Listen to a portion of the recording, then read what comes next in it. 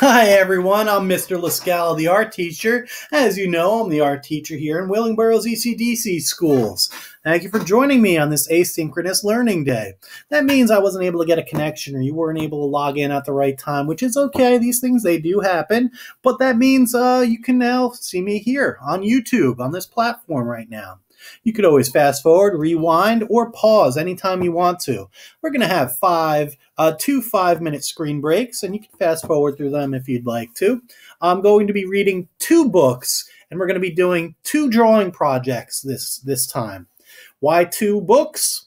Because we're celebrating um, Read Across America week, okay? So I'm going to be reading two Dr. Seuss styled books, and uh, we're going to kind of draw our own thing uh, step by step uh, once we come up with a good idea or two.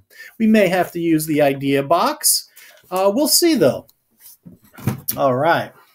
So the first thing you need to do is know your hand signals before I read the book because I'm going to ask a few questions afterwards. So shake those thumbs out and give me a thumbs up. All right, that means yes, or you can nod your head up and down.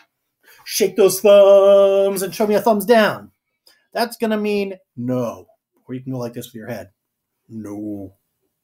Shake those thumbs. Give me a uh, side thumb. That's going to mean maybe or I don't know. That'll work too. Let me see Shake those thumbs and give me a thumbs down. Double thumb. Double thumbs down. Very cool. That's going to mean absolutely not. What are you talking about, Mr. Lascala? Shake those thumbs and double thumbs up. Oh, I like how you did the thumb double thumbs up with me like that. Very cool. That's going to mean absolutely yes, 110%. All right. So, we're going to start by reading the first book. The first book is called Bears on Wheels remember to stay on mute, uh, especially since we're asynchronous. uh, chat will be reserved for adults that need help, but in this case, um, you could just email me at my email address. You'll see that in a little bit uh, later in the program.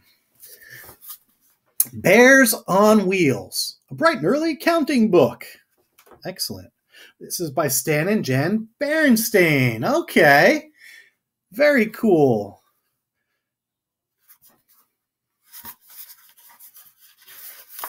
Bears on Wheels.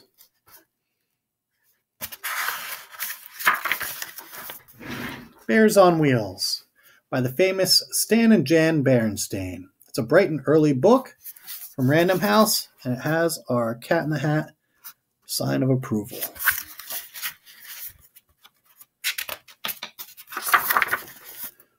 One bear, one wheel. One bear on a wheel.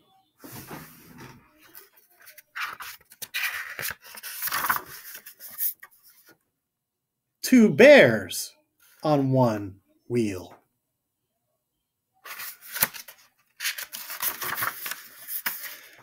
Three on one, four on one.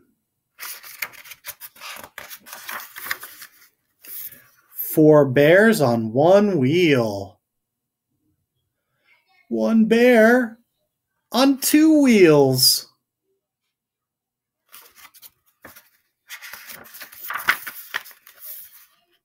Four on two. One on one again.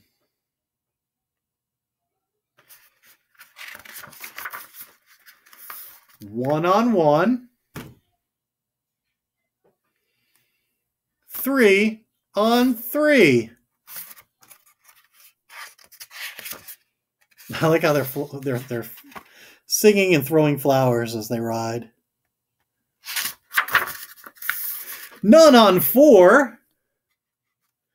That also means four on none.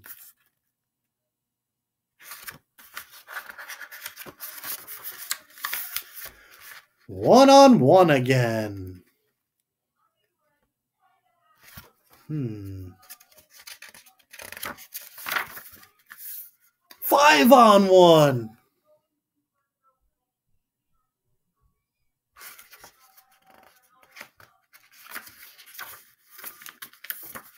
Five bears on one. Five bears on none.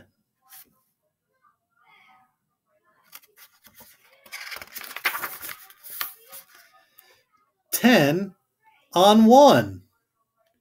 One, two, three, four, five, six, seven, eight, nine, ten.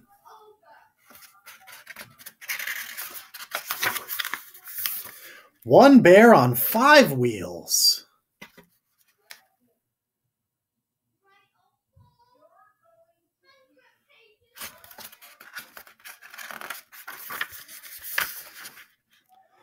one on five, 10 on one, 10 on 10.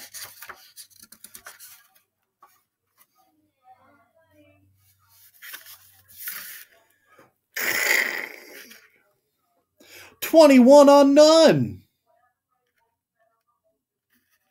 Let's count them all. one, two, three, four, five, six, seven, eight, nine, ten, eleven. 12, 13, 14, 15, 16, 17, 18, 19, 20, 21. And then one on one again. The end. Round of applause. Let's pretend we're on a bicycle. Bicycle means two wheels. Very nice. So we're going to uh, uh, come back from break and uh, we're going to design a vehicle first. Did you like that book? Yes. Maybe. Very nice. What was your favorite number of wheels?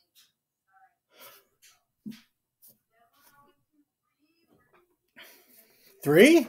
I, mine, mine was one uh, because we start with one wheel. So I really liked one. Uh, the two wheels, that makes sense. When I was younger, I had two wheels on a bicycle. That's why it's called a bicycle, two wheels. I never had a unicycle. That's one wheel. Uh, tricycle. Has anyone ever had, uh, ever ridden on a tricycle? That's three wheels. Sometimes they call it a big wheel. Very nice. All right. So I'm going to take our first five minute screen break right now. I want you to draw something with wheels. It could be one, two, three, four, five, six, seven, eight, nine wheels. Up to you. Your choice, your artwork. When I come back, I'd like you to um, show it to me, and we are going to design our very own wheeled uh, vehicle. Um, and we're going to try to see how many uh, wheels we can put on this vehicle, or we're going to have to use the idea box to tell us how many.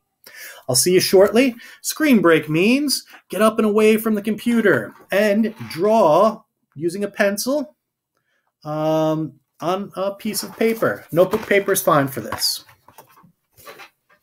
I'll see you soon. Don't leave the room without telling an adult.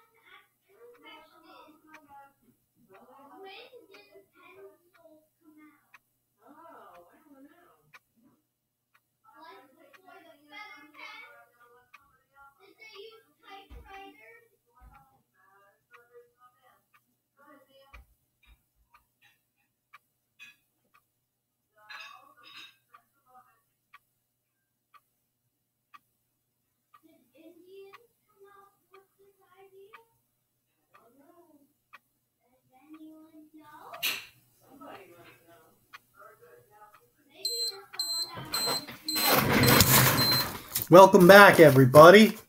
I hope you had a nice short break. We'll be doing another one in a little bit. But first, I want you to show me your vehicle and how many wheels it has.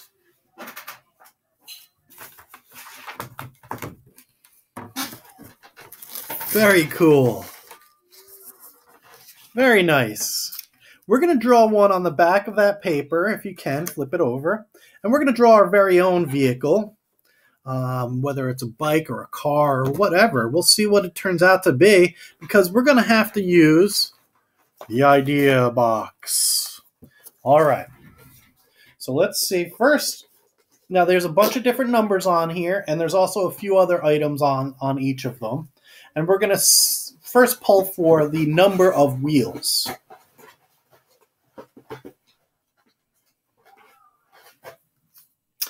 Twelve.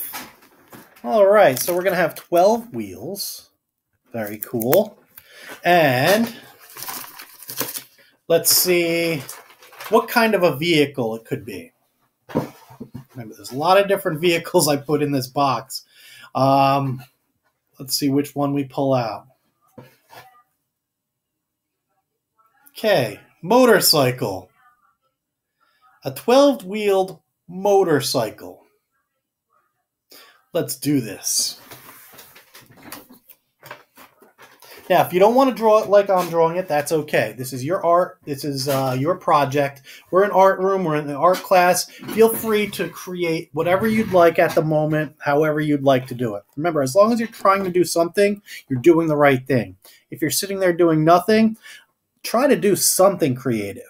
Okay, I do understand that sometimes we don't have the proper materials, uh, like uh, even a pencil sometimes. So you can kind of, you know, uh, pick up later when you finally get uh, access to a pencil and paper, and then you can uh, you can draw a uh, a vehicle with a lot of wheels. All right. Um, I'm going to start uh, by suggesting you use your pencil. Why the pencil? That's why. You have an eraser. All right, you're able to erase any lines before you uh, you uh, use a, a darker crayon to outline. Okay, now you hold your pencil like this with three fingers. Burr, burr, burr. Ah, I'm going to be using my crayon. The problem with the crayon is we are not able to erase. So if you want to use a crayon, that's okay. Remember, I do not suggest using markers, especially since we use the back side of the paper a lot. Do not use dry erase markers um, unless an adult is ready to take a picture when you're when you're done. Uh, don't use uh, any kind of marker unless an adult is next to you at all. Um, it can get messy. Not only can you get it on your on your skin, but you can get it on your clothes too. So um, please be very very careful and have an adult sit next to you uh, when and if you have to use a marker. Use color. I would rather you even used a uh, a ballpoint pen. All right. That being said, let's move right along to our 12 wheeled motorcycle. All right, I'm going to start by holding my paper this way. How am I holding it? Landscape. If you said landscape, give me a thumbs up. If you said horizontal, give me a double thumbs up. Very good. Those are both correct answers. Eventually, you're going to need to know this as horizontal. So that's one of my uh, my things, uh, my initiatives for this year is that we know the difference between vertical and horizontal. All right, it used to be it used to be scissors uh, cutting, but um, we're not going to be doing a lot of cutting this year. Uh, we're not going to be using a lot of glue, and we're not going to be using markers if we don't have to. Uh, I do want to touch on those and in previous videos I have, but we're going to touch on those again at the end of the year. Uh, but we're most likely not going to actually uh, use it while we are remote learning. 12 wheels are going to start with 12 circles on the ground. Okay, that's how I'm going to make my motorcycle. Now, I'm going to start with small circles that are going to be more like U's, maybe even a closed U. It's going to look like this kind of a shape. There we go like that. So this way I could put spokes on it. You'll see what I'm, not spokes, but a fork around it. I'll explain in a minute. Let's first draw those small ones. They could be different sizes too. So I'm going to draw one like this.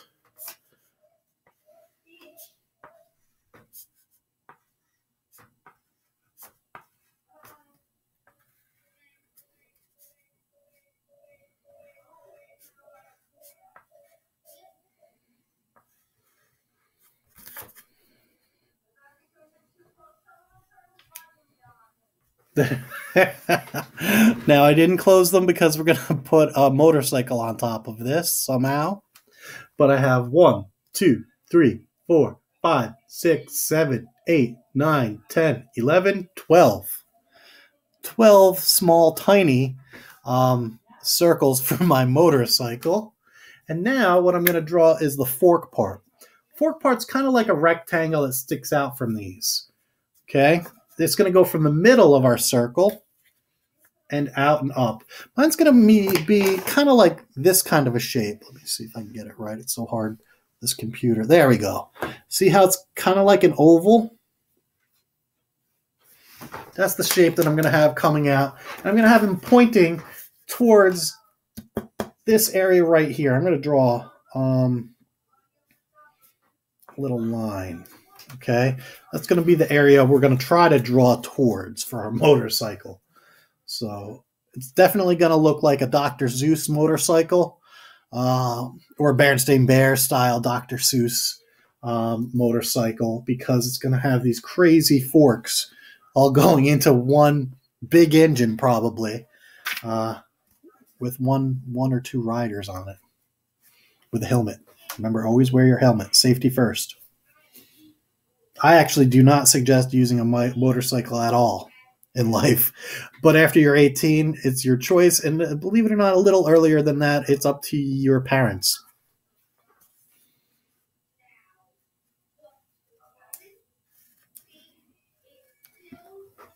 Okay, that's what I'm going to do. Something like that. And then I can put little spokes around it.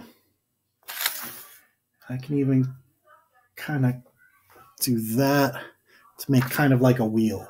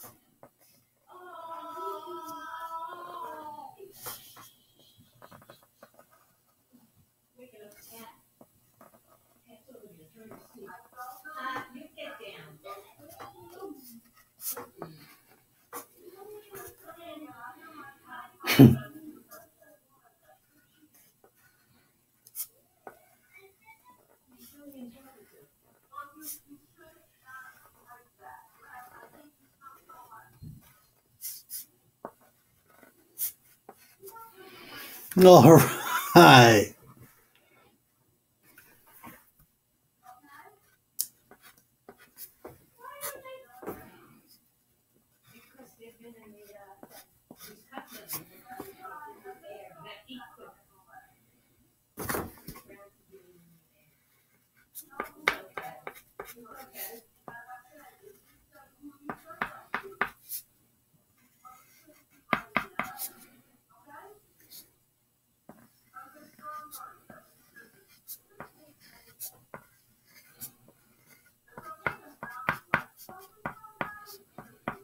When you're using a pencil, it's a lot easier because you have a smaller area uh, to work with.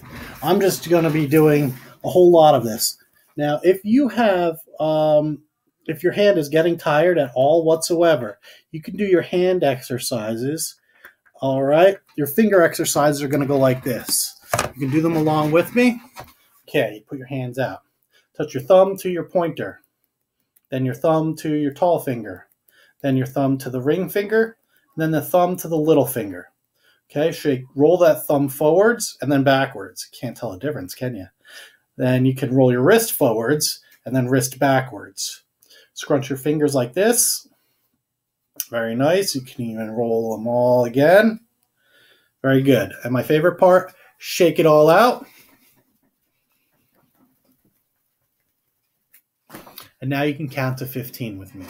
One, two, three, four, five, six, seven, eight, nine, 10, 11, 12, 13, 14, 15. All right, our fingers should be ready to continue forth.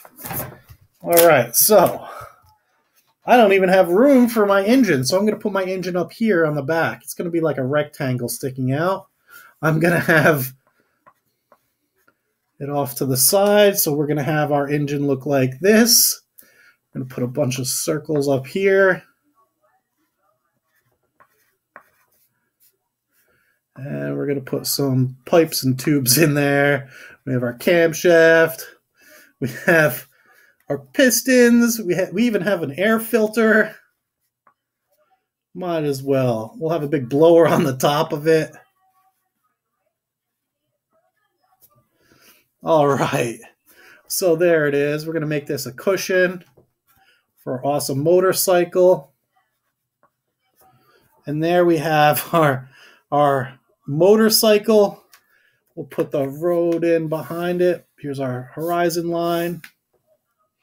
We can put buildings in like this, make it look like it's in a city.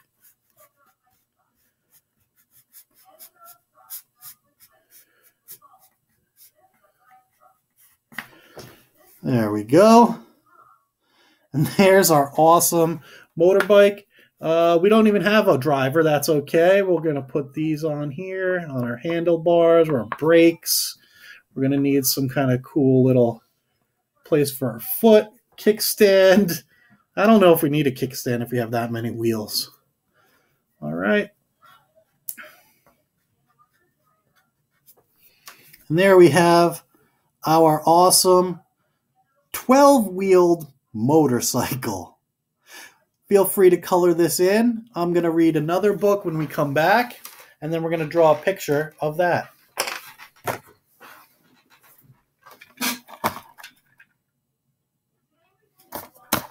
I'll see you in about five minutes. Get away from the technology for a little bit. Now's a great opportunity to use the bathroom or even have a snack, just as long as you tell or ask an adult first.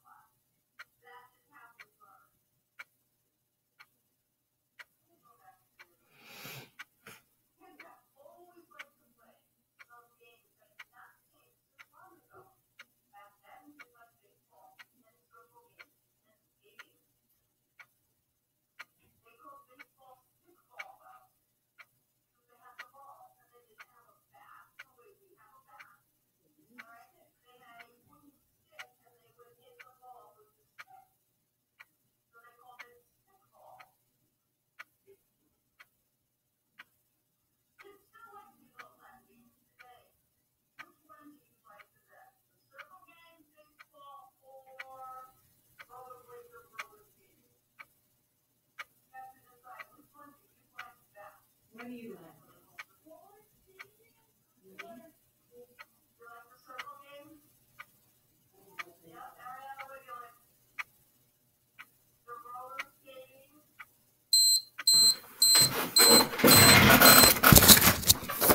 All right, welcome back, everybody. I hope you had a chance to color in your 12 wheeled motorcycle. Now we're going to be drawing, well, we're not going to be drawing anything yet we're going to be reading a book since it's Read Across America Week. This is called Hark, a Shark. This is all about sharks by Bonnie Worth and illustrated by Aristides Ruiz and Joe Mathieu. Hark, a Shark. It's a very informational book, so you can sit back and relax, and uh, we'll go on an adventure and we'll learn a lot about sharks. I'm the cat in the hat, and for more than a lark, would you care to go to a brand new kind of park? It's a super shark tank that is like a small sea. We will visit with sharks. Do you dare come with me? Sharks seem very scary to us, it's true, but most sharks are really no danger to you. People fear sharks, and that's mostly because of films that star sharks with big snapping jaws. But give sharks a chance, and I think you will find that they will dazzle your eyes and broaden your mind. See this wonderful boat bobbing here on the water? It's my super stupendous ship shaped shark spotter. For tracking down sharks, is the best, don't you know? So hop on aboard and shark spotting will go. Over 400 species swim the seas today. Let's visit with the, uh, some of them. Anchors away. 400. Like a brave knight, thick suits of mail, thick suit of a shark skin protects it almost without fail. Stroke the skin head to tail, it's as smooth you will see. Stroke the skin tail to head, it's as rough as can be. That's because it has denticles, hard toothy stuff that lies flat for swimming, but makes the skin tough. A whale skin gets dirty and gunky, you see, but a shark skin stays clean and is nearly gunk free.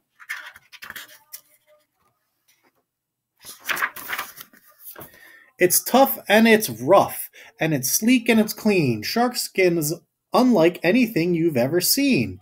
These fake shark skin suits help swimmers to swim, and gunk, uh, human skin grafts are grown from shark skin. And gunk falls right off of the shark spotter, uh, spotter side because of a paint that is rough like shark hide.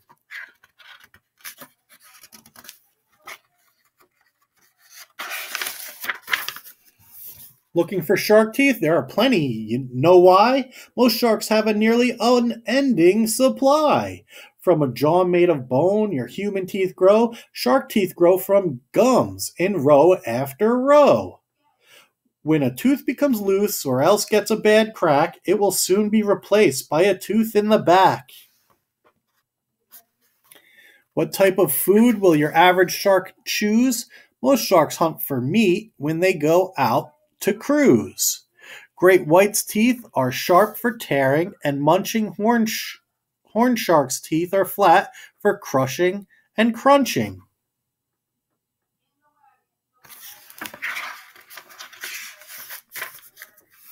Whale shark. The shark you see here might fill you with awe, but in but the tiniest teeth will fill its giant maw. It's the largest shark that you'll ever meet. Well, we've measured it and it's 44 feet.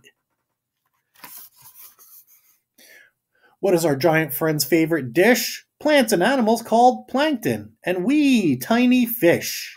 These gill rakers here act just like a sieve. They sift out the food the whale sharks need to live.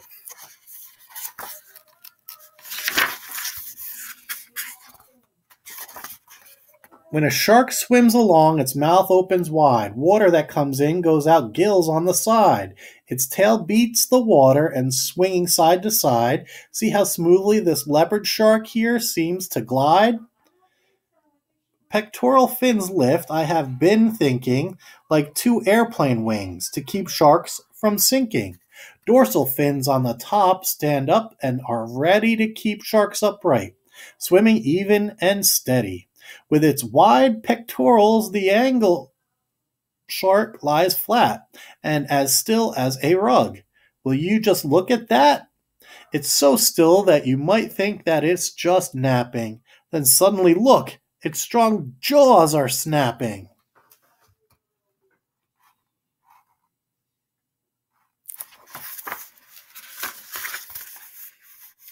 The shark comes equipped with a keen inner ear that senses whatever its prey might be near, and the nostrils like holes that sit under its snout sniff out any prey that is lurking about. The name that we give these two holes is nares. It's helpful to know that the world rhymes with fairies. Nares. Okay, I called it nares. It's called nares, and I wouldn't have known that had I not read.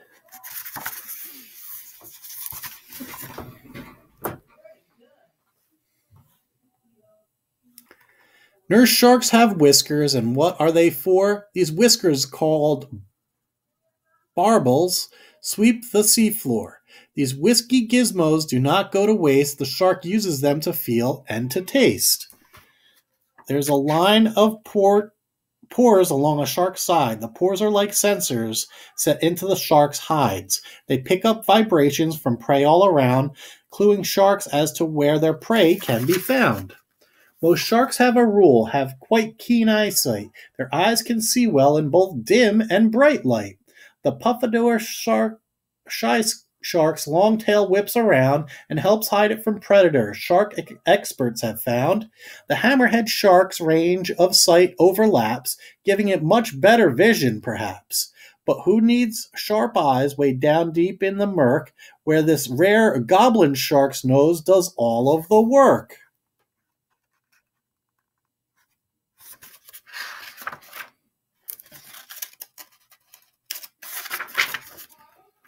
Some sharks are hatched out of eggs in a case that is hidden by mom in a very safe place. Some shark eggs hatch inside mom and then thrive on egg yolk till they're big enough to survive. Lemon sharks, like us, as I have just read, grow in their mom's bodies where they're safe and fed. This pup is born live, rests a bit, and then hark! Off it goes on its own. That's the life of a shark two things have come up with this most clever verse. An empty egg case is called a mermaid's purse.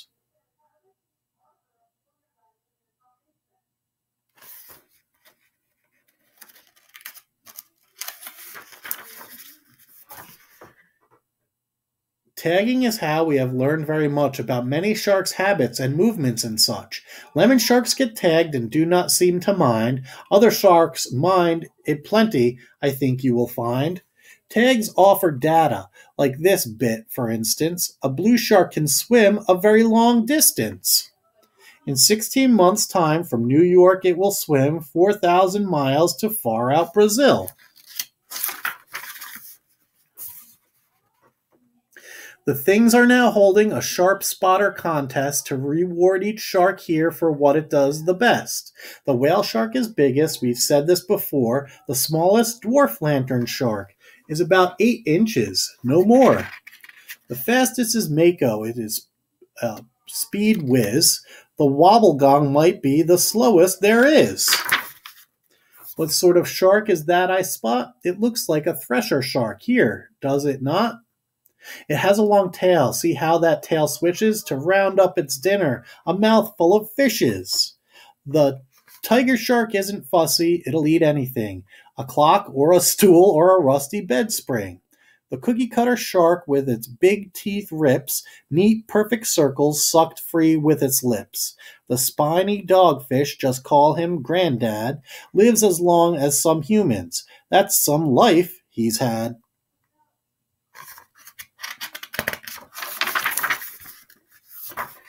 The megamouth attacks prey, it glows in the dark. Light works as a lure for this deep water shark. These white tipped reef sharks sometimes swim in packs and hunt as a team for their favorite snacks. The spinner shark here confesses its prey by spinning its body in a dizzying way.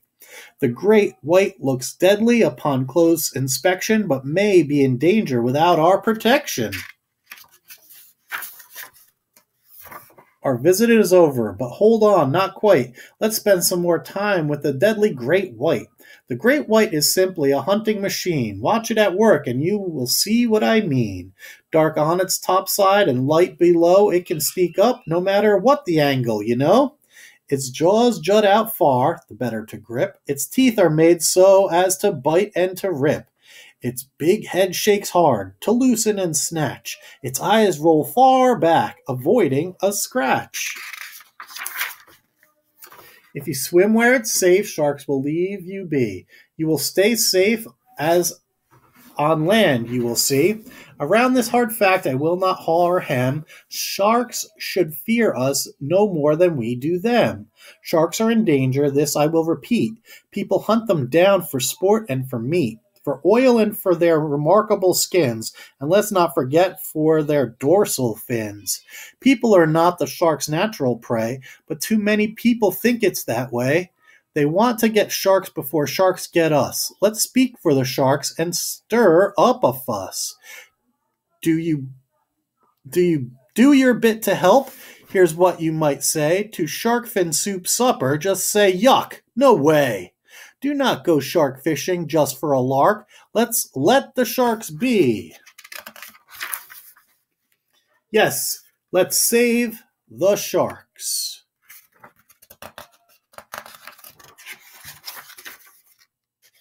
The end. All right, let's clap. And now let's do our shark bite. Very good. We're going to quickly draw a um, a shark. Now, what was your favorite shark? What one can you remember? Very nice.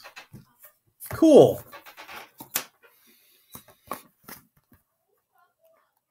We are going to draw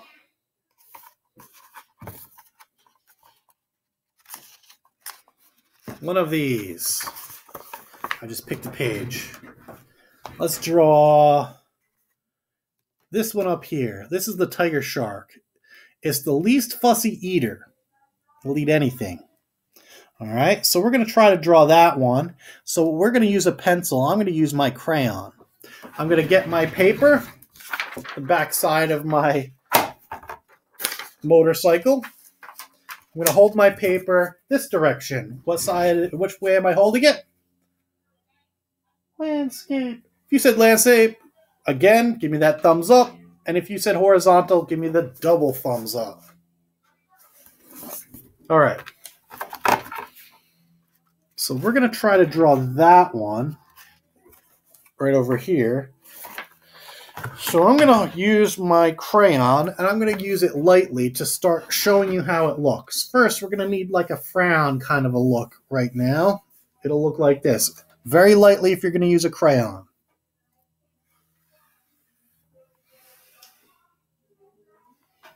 All right.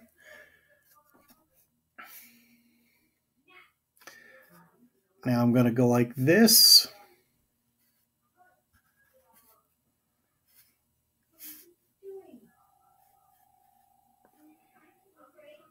Then this.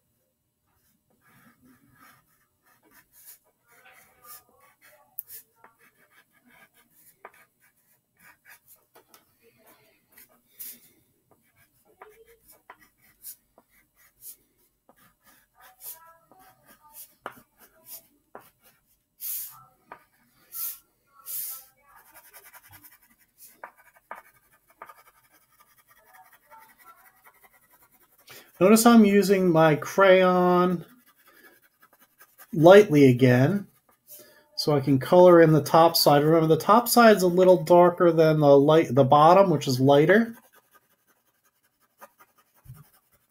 And I just drew a bunch of stripes for my tiger shark.